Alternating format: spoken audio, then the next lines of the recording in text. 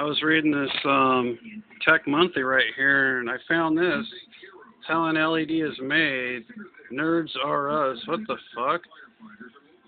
Tech Monthly. It says schematic for an LED. Uh, buy a Lite-Brite and put it. What the fuck inside the LED UFO? So here's the schematic. So all it is is a Lite-Brite and then they insert it inside the LED UFO. Oh, that's how it works. Check that out, you guys. It's a Tech Monthly schematic for Lite-Brite by uh, Nerds Are. They're sponsored by Nerds Are Us, uh, where the geeks hang out.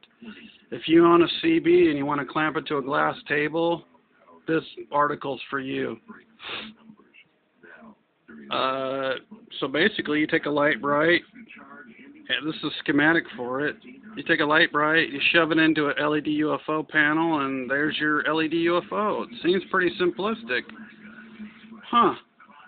No wonder they only charge 600 bucks for these things, or 229 plus shipping. It's just a Lite-Brite. That's what it looks like here in this fucking magazine here. That's what I'm reading here. That's Tech Monthly. Yep. So it says Tech Monthly right there. Schematic for an LED. Uh, schematic for an LED, LED UFO.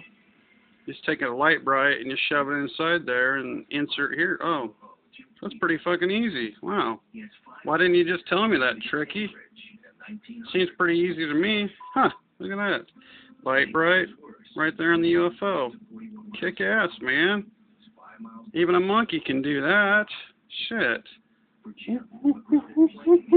I know a guy that looks like a monkey. He's bald and he's got big old monkey looking ears. And he needs a job. He's in Europe. Light bright, light bright.